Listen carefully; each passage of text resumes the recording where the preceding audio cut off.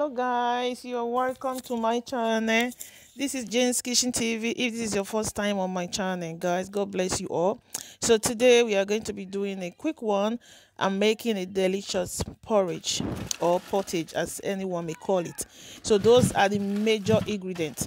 As we go along i'm going to be calling the names of other ingredients i'm going to be using okay? So there we have yam ripe plantain and potato okay? So we start by peeling off the yam. So i'm just going to let you sit down relax and watch the way i'm going to cook this pottage you know with a with a little twist to it. Please wash it to the end so that you can see the twist i'm going to use on this pottage okay? The little twist i'm going to use. Thank you guys